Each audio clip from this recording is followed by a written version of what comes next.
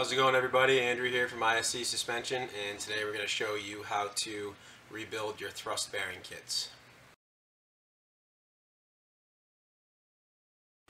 Spring bind is a common issue with aftermarket coilovers um, of any brand.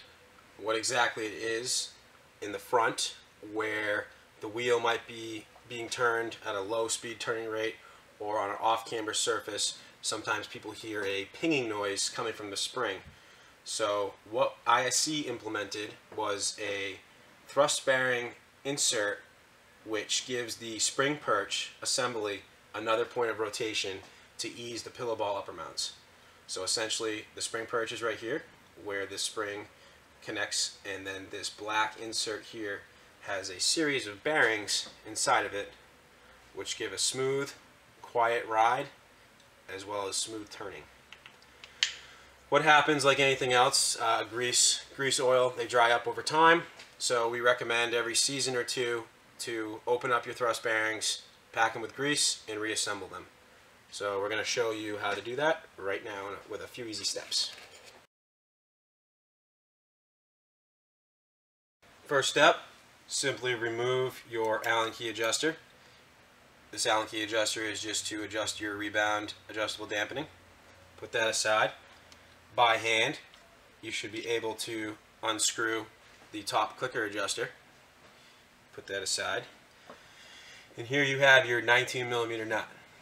So this nut is what keeps the shaft assembly connected with the pillow ball upper mount, the camber plates, everything up top on the coilover assembly. So what we're going to do is we're going to take a 19 millimeter socket. We're going to slide in a 5 millimeter Allen key, which is part of the shaft. Um, the purpose for this is to keep the shaft still while you loosen the top nut. If you simply just use a wrench or a socket and no Allen key, the shaft will spin in unison with the nut and you will not be able to take this assembly apart.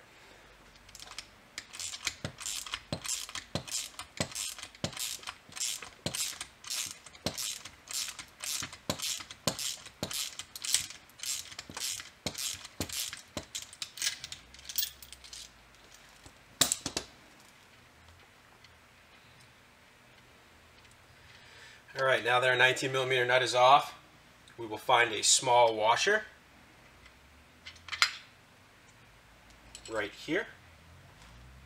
Put that aside. Don't lose that. Here's your whole camber plate assembly. They will look different from model to model.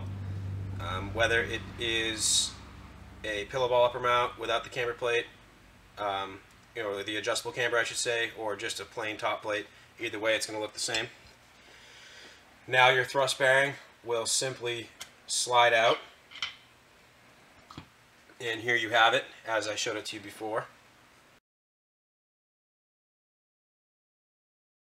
Now that the th thrust bearing's off, simply lift the top black cup off of the spring perch with the insert in it.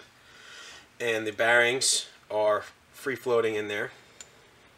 These are obviously brand new, but for reference, we are going to clean them and regrease them. Get a clean rag.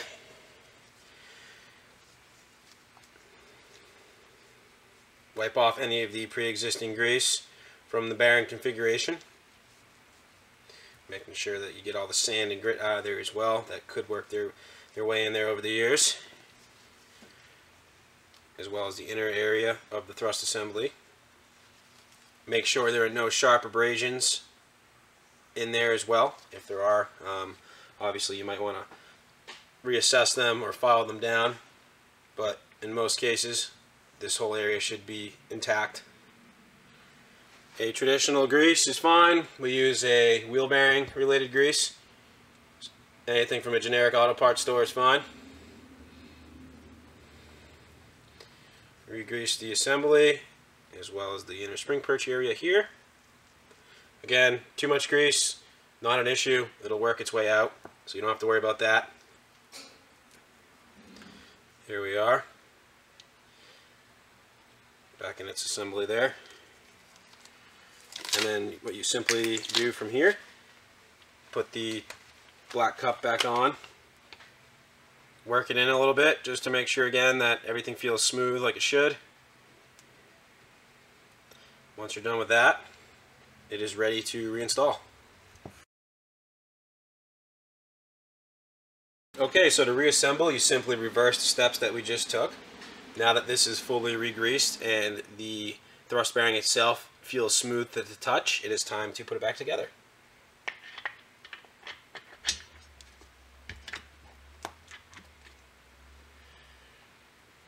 Camber plate and pillow ball assembly. We'll just slide right on there. Don't forget the washer. Your 19 millimeter nut. Bring it to hand tight. Now get your 19 millimeter socket back on there and your 5 millimeter Allen key to keep that shaft still so we can actually tighten that 19 millimeter nut back to the shaft.